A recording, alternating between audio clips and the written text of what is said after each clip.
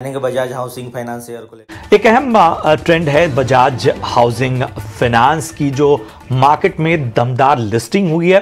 अब ज़ाहिर सी बात है कि जिनको लिस्टिंग में लग गए, उनकी तो बल्ले बल्ले। अब यहाँ से रणनीति क्या होगी?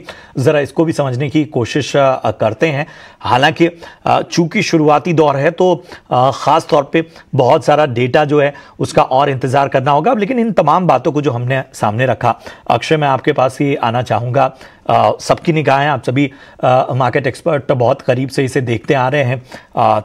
चाहे आईपीओ की, का ऐलान हुआ, उसके बाद जिस तरह का रिस्पांस हुआ और जिस तरह से एग्जीक्यूट हुआ। ये सभी कह सकते हैं कि अभी तक बहुत ही परफेक्ट कह सकते हैं, अब तक सब कुछ रहा है। अब यहाँ से सवाल उठता है आम निवेशक के मन में कि क्या रणनीति हो सकती है? इतनी दमदार लिस्टिंग के बाद क्या अब जिन्हें लेना है, उन्हें इंतज़ार करना चाहिए, या आपको लगता है कि इन भाव पे भी अभी मौका बन सकता है?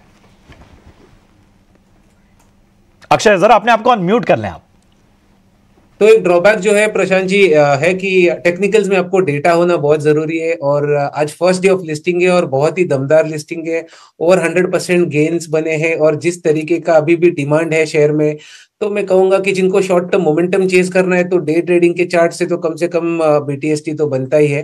पर पोजिशनली अगर आपको यहाँ से स्टॉक में अगर निवेश करना है तो मैं कहूँगा आप अपने फंडामेंटल एनालिस्ट की राय ले लें, क्योंकि टेक्निकली कम डेटा होने के चलते मैं इस पे ज़्यादा लॉन्ग टर्म का व्यू फ़िलहाल तो नहीं दे पाऊँगा। अभी जो डेटा है डे ट्रेडिंग का, उसके हिसाब से कंडीशनली बीटीएसटी बन सकता है, जहाँ पे स्टॉक शायद कल 170 तक छू सकता है। ओवरऑल एक बहुत ही पॉजिटिव नज़रिया क्योंकि बहुत ही स्ट्रॉन्ग डिमांड और वॉल्यूम्स इंट्राडे में डेवलप हो रहे स्टॉक तो बजाज हाउसिंग फाइनेंस का लिस्टिंग काफ़ी अच्छा रहा। 115 परसेंट के प्रीमियम पे ये कंपनी लिस्ट हुई।